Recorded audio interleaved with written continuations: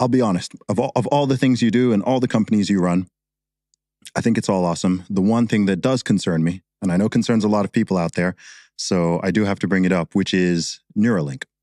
Sure. So, firstly, can you explain what Neuralink is and what the goal of it is?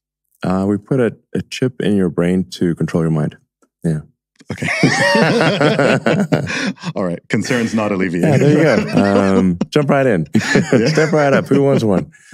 Um, no, so so Neuralink, you'll be able to see Neuralink coming from a very long distance because any device that you implant in a human is you have to go through a million, so many tests. Um, it, it, moves very slowly. You just do a few people at a time, and then um, you, you go to extreme lengths to prove safety. Um, you have to go through the FDA approvals. Like we're not trying to sidestep any, you know, uh, regulatory approvals.